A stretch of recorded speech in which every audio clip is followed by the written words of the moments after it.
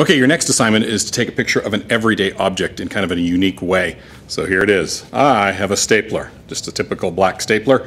And I could just put it on the desk, but I didn't think that was very unique. So I wanted to put on something contrasting. So I have these red sofas near where I am, and I'm going to just set it here on this uh, red sofa. That's going to allow me to really do some neat photography because of the contrast of the black and the red. So find an everyday object. It could be a paper clip, it could be earbud headphones, something, and try to do something unique with it. Don't just set it on a desk, but try to do something with it.